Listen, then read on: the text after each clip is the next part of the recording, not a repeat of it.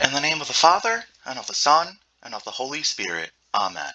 Glory to you, O Lord, glory to you. O heavenly King, Comforter, Spirit of truth, who are everywhere present and fill all things, treasury of good things and giver of life, come and abide in us and cleanse us from every impurity and save our souls, O good one. Holy God, holy mighty, holy immortal, have mercy upon us. I believe in one God the Father Almighty, creator of heaven and earth, and of all things visible and invisible, and in one Lord Jesus Christ, the Son of God, the only begotten, begotten of the Father before all ages. Light of light, true God of true God, begotten not created, of one essence with the Father, by whom all things were made, who for us men and for our salvation came down from heaven and was incarnate of the Holy Spirit and the Virgin Mary and became man, and was crucified for us under Pontius Pilate, and suffered and was buried on the third day. He rose again according to the Scriptures, and ascended into heaven and he is seated at the right hand of the Father, and he shall come again in glory to judge the living and the dead, whose kingdom shall have no end. And I believe in the Holy Spirit, the Lord, the giver of life, who proceeds from the Father, who together with the Father and Son is worshipped and glorified, who spoke by the prophets. And I believe in one holy Catholic and Apostolic Church. I confess one baptism for the remission of sins. I look for the resurrection of the dead and the life of the age to come. Amen. Welcome to the Orthologia Orthodox Apologetics channel. I am your host, Schuyler. So we're going to be continuing with our video series on the Glaphyra, more specifically on Exodus. This is going to be a three-part series. Uh, part 1 was Book 8, Exodus Part 1. This is going to be Book 9 of the Glaphyra, Volume 2, Exodus Part 2. And then I'll do a third part for Book 10. And I also have some blog posts that I've been doing on the Glaphyra as well. And so, just getting to some introductory comments. Uh, first of all, today is actually my birthday, and I thought what better way to celebrate my birthday than do a video for you guys. So that's what I'm doing. Like, I love making videos and blog posts for you guys. I really enjoy doing this. It's a lot of fun to learn and read and put what I learn into writing. So I hope you guys enjoy this video. So just as a reminder, here's a picture of the book I'm using for the video series and the related blog posts I've done uh, the heading for the series, right, is this is the Fathers of the Church series. I mean, they've got several uh, scholars and cl- even clergy, I believe, on this board of directors for it. It's just a patristic series translating the writings of the ancient fathers and bringing them to modern English, so contemporary uh, people everywhere, like laity, non-Orthodox, right? People can read the writings of the oldest church, some of the older church fathers in English, because uh, I mean, a lot of times, right? Some of these church fathers, right? Some of our saints would write in Latin, Greek, Aramaic, right? And sometimes not all of their works have been translated into English. So a lot of times, what people like Nicholas P. Lunn do, Robert C. Hill, is they translate some of these ancient works into English so that way they are more widely accessible and available. So this is actually a relatively new translation of the Glaphyra.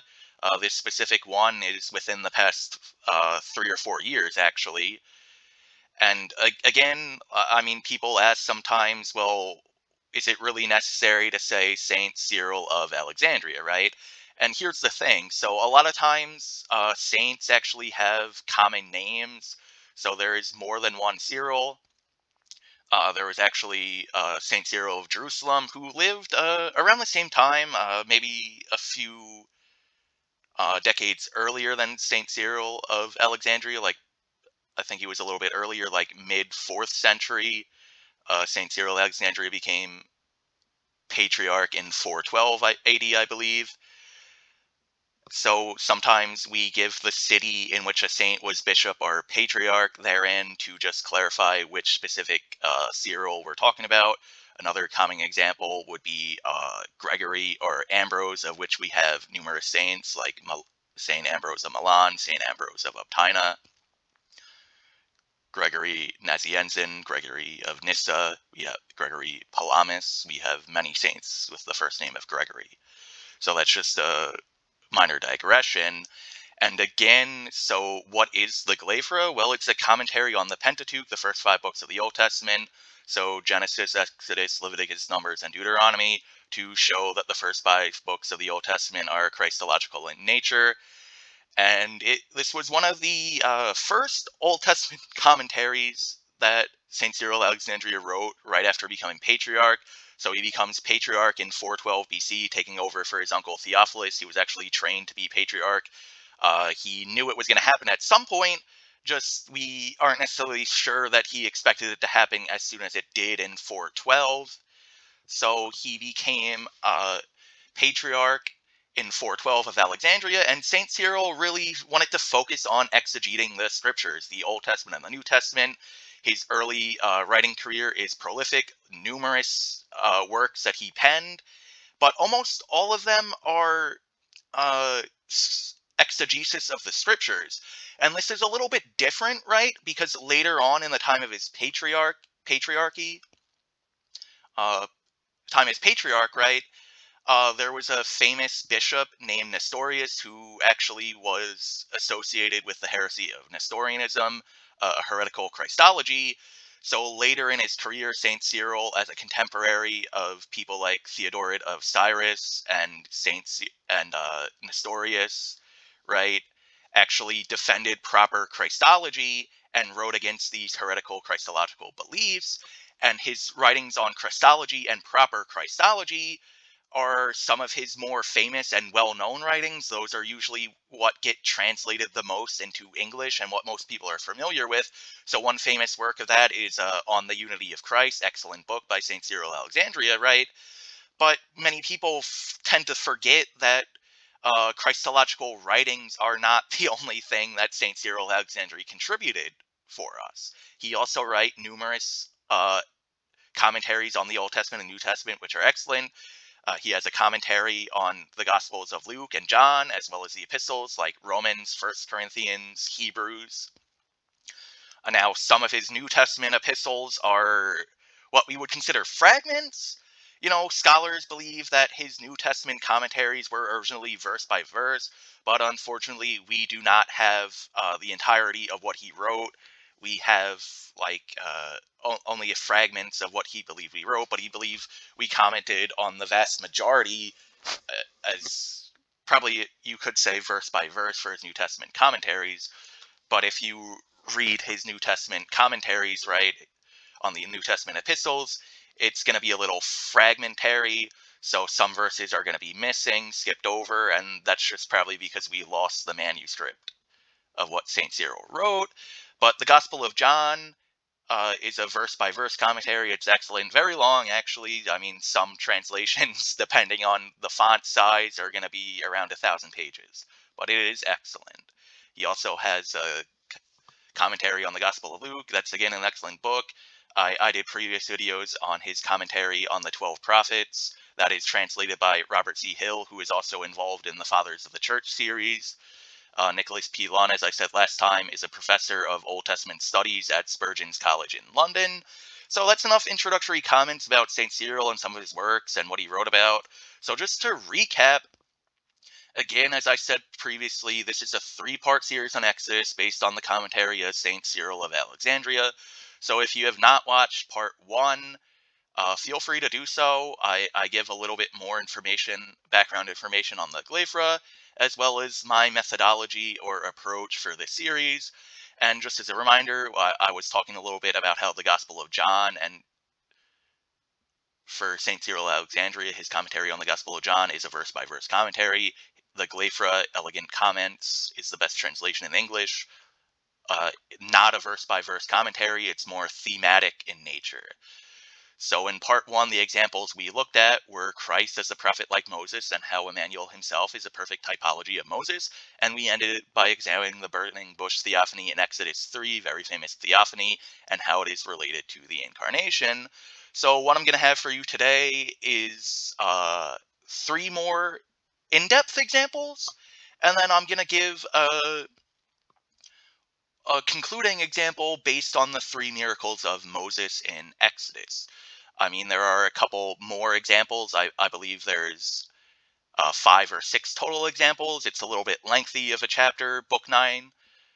Uh, but I'm, I'm not going to discuss everything. If you'd like more information, more in depth, you want to read St. Cyril Alexandria for yourself, by all means, feel free to acquire the Glaphyra for yourself and read it yourself.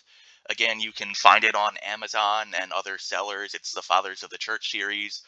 Uh, excellent translation. Nicholas P. Lunn was very uh, convenient for us and actually puts the biblical citations that St. Cyril is referencing in his work. I mean, sometimes the church fathers knew the scriptures just so incredibly well by memory that sometimes they didn't always reference what verse they were quoting. They just knew the scriptures by heart and just assumed their audience would automatically know what exact verse they were quoting from. But again, it is a little helpful sometimes just to be able to look, okay, this is the verse quoting from, this is where it's found in the Bible, just as a quick reference. So the first example, right, that we're going to look at, continuing with Exodus, is going to be concerning the sacrifice of the lamb. So St. Cyril has a very good quote on page 29. This is at the beginning of book 9 of the Glaphyra. I think it's a very good quote, actually. And he writes the following In the inspired scripture, many thousands of wonderful and manifest images brightly reflect the power of the mystery. And what is this mystery that he's calling about? Well, the mystery he was referring to is that is that by Christ alone we have the power to escape the bonds of sin and death. So these images, thousands of wonderful and manifest images for St. Cyril, or numerous, countless way, innumerable ways in the Old Testament in which Christ is foreshadowed, and more specifically, the sacrifice of the lamb in Exodus chapter 12, verses 1 to 16, more commonly known as the Lord's Passover, is a prefiguration, a typology, a foreshadowing, if you will, of the cross and the crucifixion and the resurrection right? So there's going to be some uh, background information we got to get out of the way factually in order to help understand how this is going to be Christological and understanding St. Cyril's exegesis, right? His Christological interpretation, or spiritual, if you will. Spiritual and Christological are used interchangeably by uh, St. Cyril. Uh, factual or literal mean the same thing for his methodology. Uh, he lays this out in his commentary on the 12 prophets. So sometimes, uh, I mean, I don't really remember if he specifically mentions this specifically in the Glaphyra with respect to his spiritual factual distinction, but he does reference it in his commentary on the 12 prophets. So I'm just giving you that context to St. Cyril Alexandria's methodology and approach. So in Exodus 12, 1 to 4, Yahweh, right? Yahweh is a descriptive title for the triune God the Father is Lord, the Son is Lord, and the Holy Spirit is Lord. This is referring to the triune God, right? He gives precise instructions for this lamb that is to be sacrificed. It's going to be perfect and without blemish. It also has to be male, right?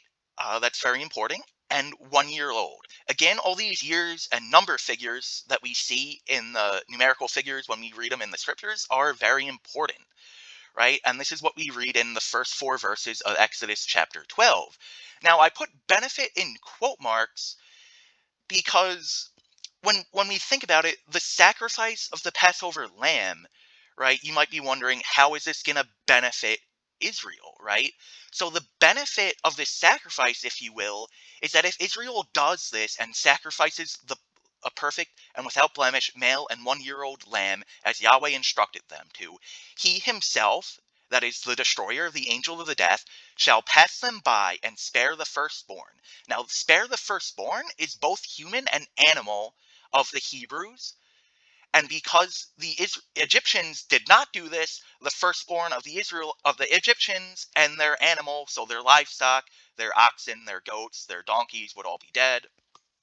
Okay, this is what Yahweh is telling us in Exodus chapter 12, verses 12 to 13. So these are some of the basic facts of the passage.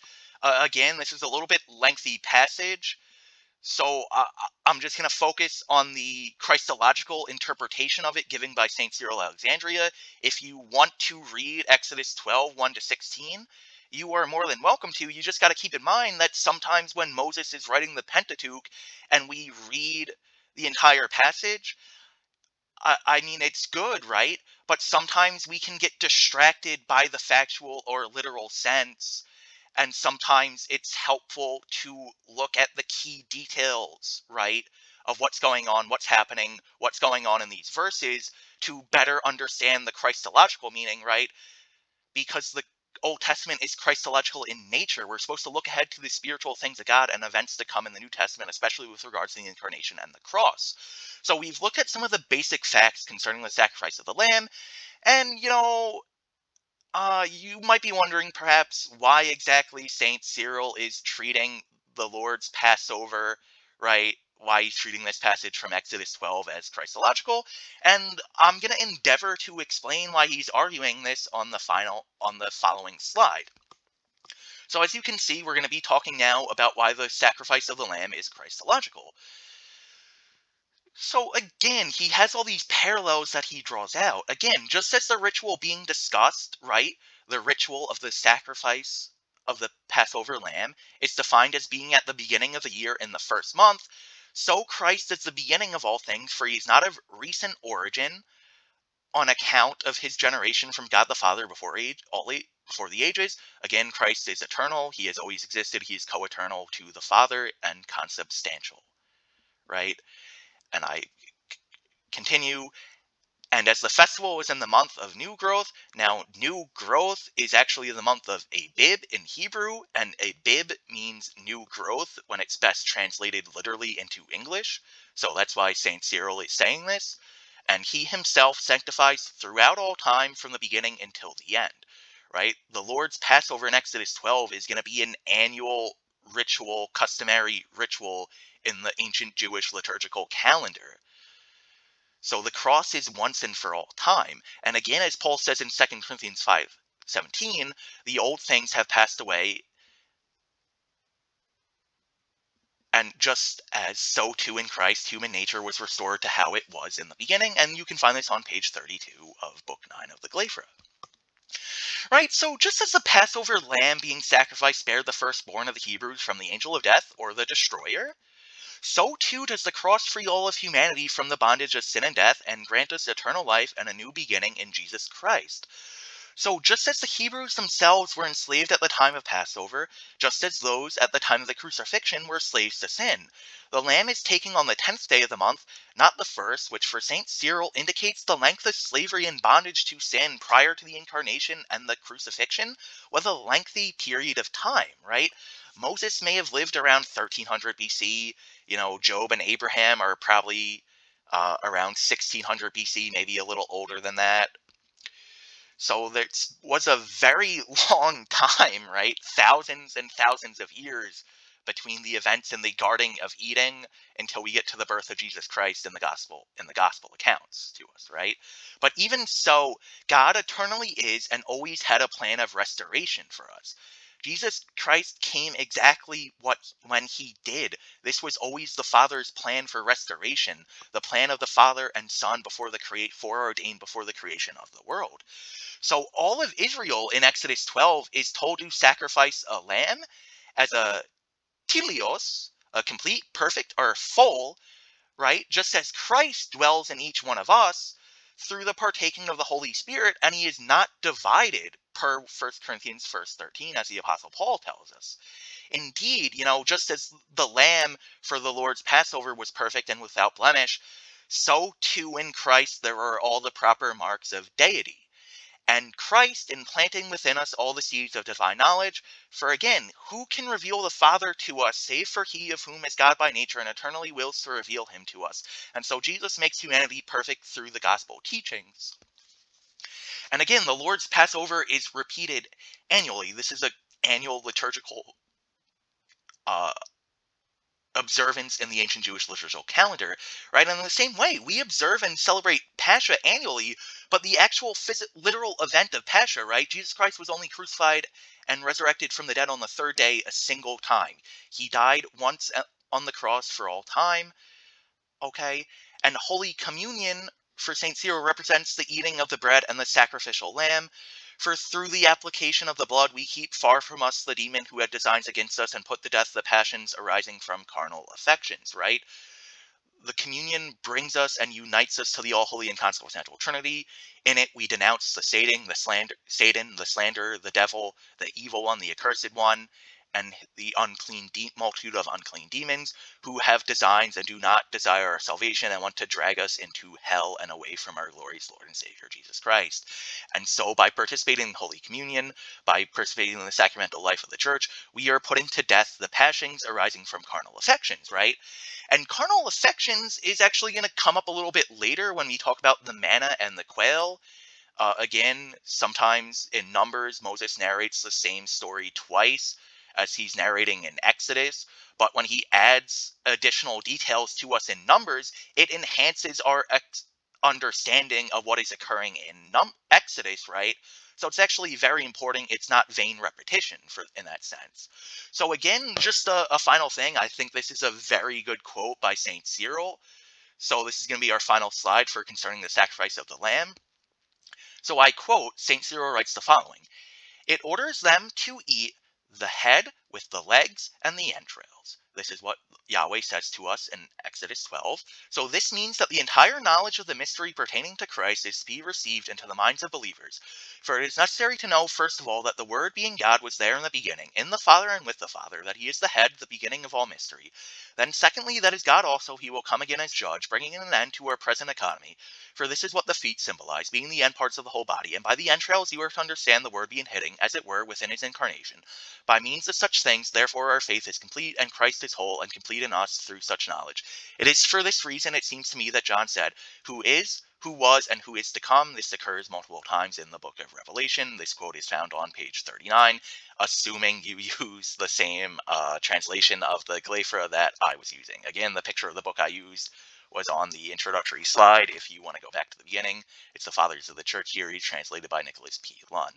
So, indeed, the cross is a Passover right? Because we pass over from a worldly life, worldly life to a life devoted to the love of God. We crucify the desires and passions of the flesh. For truly, truly, Christ restores us to the estate of which man had at the beginning, prior to the fall. He restores us to greatness. He restores, frees us from the bondage of sin and death. Uh, the cross is the perfect manifestation of Yom Kippur, right? So it's only fitting that the you know right after the crucifixion, the veil in the temple stopped changing color. Yom Kippur was no longer able to be observed. I mean, yeah, the Jews, the high priest, still tried to celebrate Yom Kippur after the crucifixion, but it was impossible in the years between the crucifixion and the destruction of the temple by the Romans in 70 AD. If the veil of the temple does not change color, the high priest had no way of knowing if they did Yom Kippur correctly or not.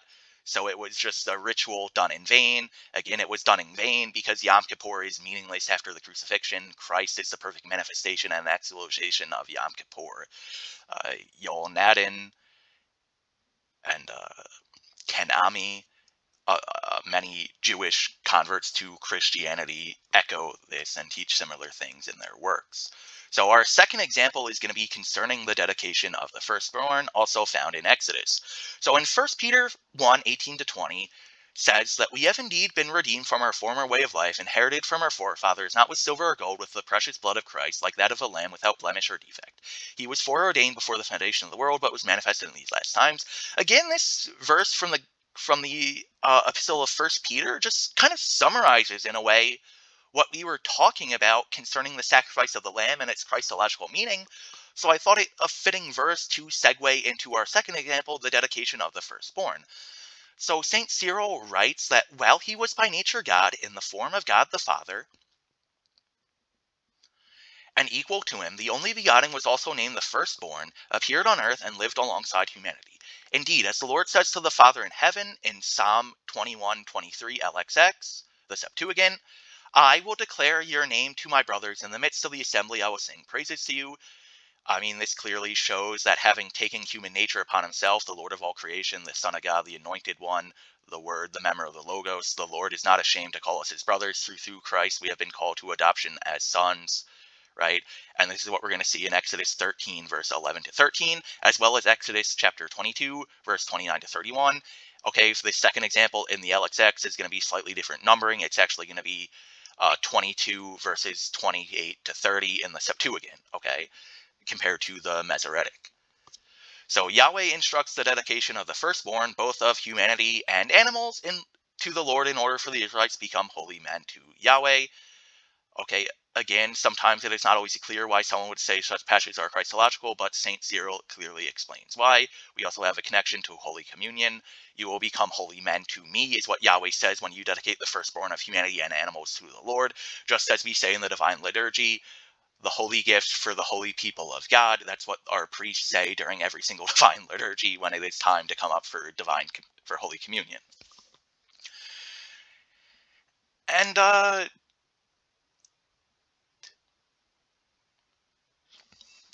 yeah, so I'm going to proceed and explain why this is Christological. I had one more point that I wanted to say, but I, I think it's actually going to be on the next slide. So, why is this Christological? Well, look, St. Cyril writes the following For when the firstborn of the Egyptians perished, every household of the beloved Israel was saved and escaped the destroyer, the angel of death. Okay, this is the Son of God. He is both the judge of the living and the dead. He starting times in the Old Testament, he came in retribution for to enact divine justice, like when he destroyed Sodom and Gomorrah together with the Father, right? When he destroyed Idumea, when he destroyed Nineveh, right? When he caused the flood in the days of Noah and sealed Noah in the ark. That's why the, the Son of God is also referred to as the destroyer by the church fathers.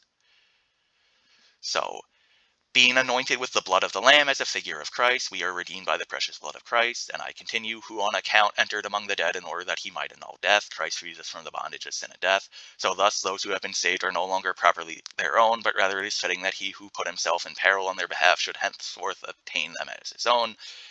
So again, just as I was saying, right, even though Jesus Christ comes as a destroyer at starting points in the Old Testament, he did not come in retribution with respect to the incarnation, he came to save humanity and save mankind. But when he returns at his second coming, he's going to return as the destroyer to judge the living and the dead and exact divine justice.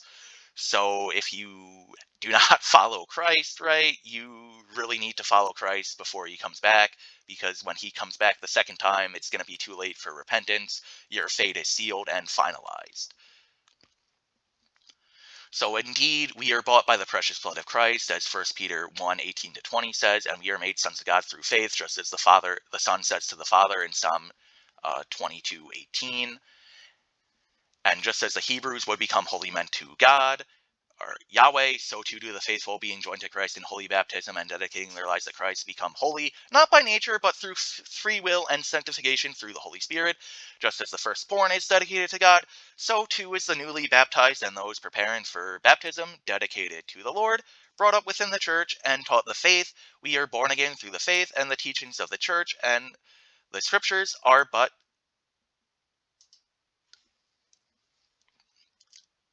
spiritual milk for us, right? This is spiritual milk. Catechism is spiritual milk. Studying the scriptures, studying theology, praying, this is all spiritual milk that helps us grow closer to God and nourishes and sustains us.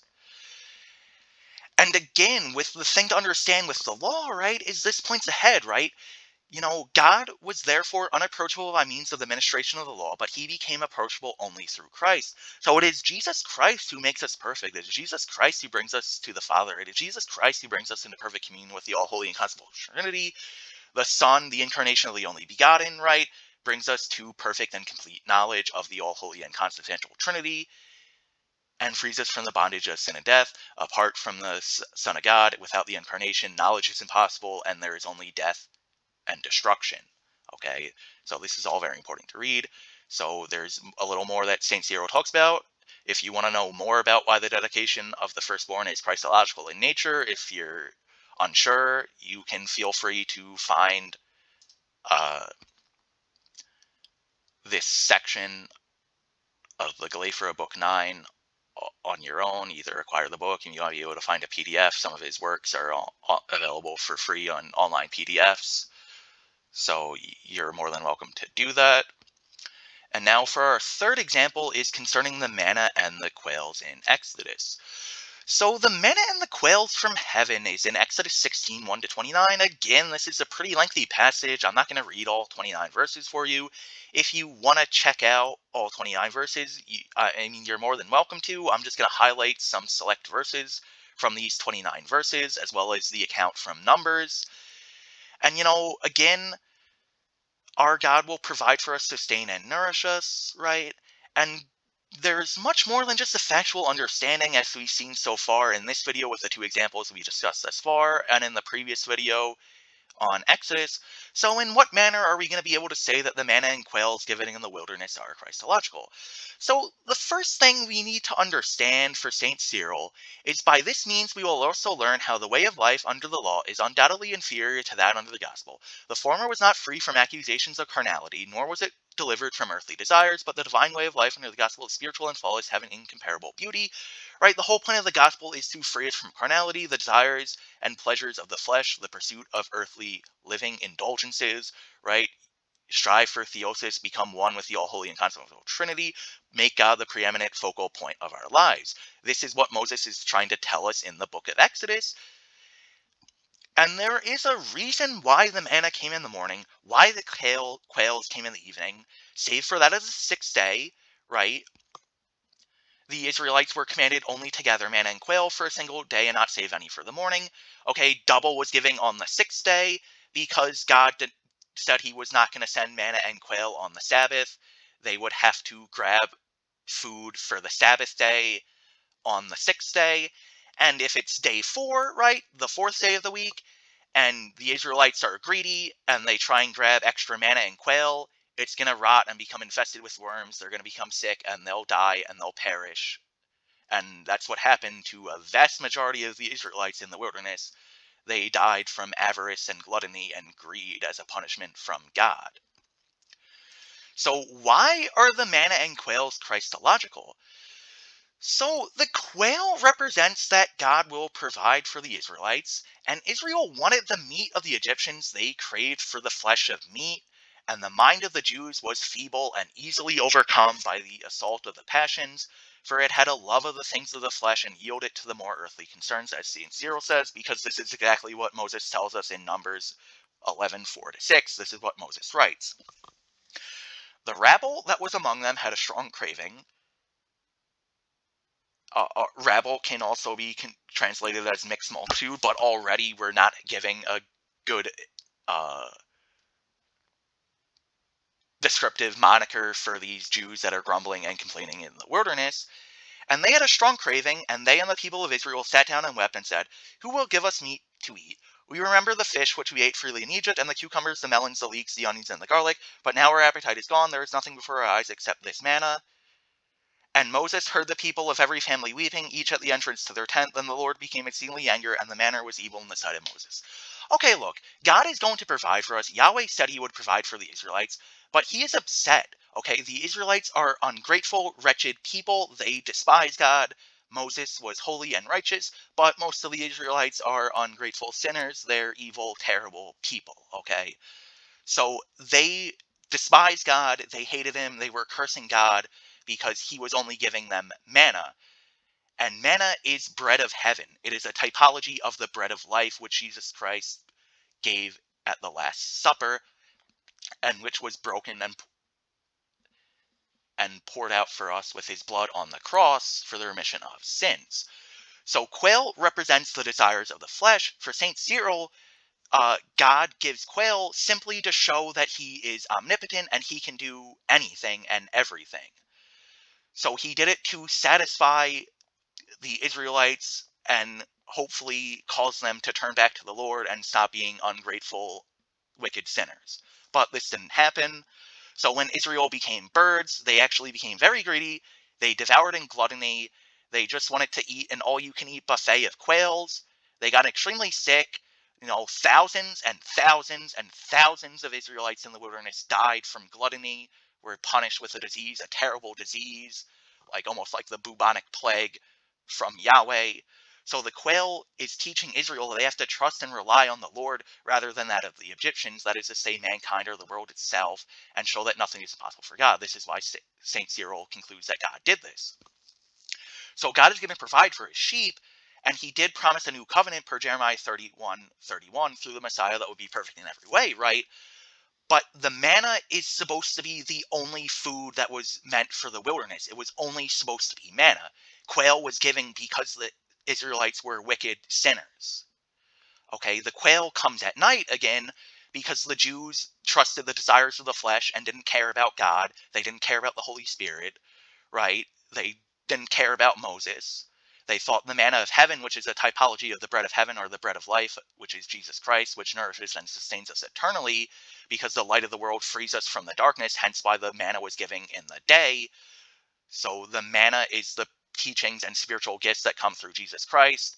So just as the Israelites in the wilderness reject the teachings and spiritual gifts from Yahweh, they would reject the spiritual and gifts and teachings of Jesus Christ when he came in the flesh. And Jesus is the most perfect spiritual food because he's brought us to complete and perfect knowledge of the all holy and constant Trinity. So the manna came every single day except for the Sabbath, and Christ is he of whom is eternally present and eternally sustains and nourishes our souls, per John 6, 49 to 51. Again, just as the Jews of old despised the manna in the wilderness, they hated the manna the Jews at the time of Christ rejected the Savior, rejected the spiritual and heavenly things of God, and hated the Lord of all creation.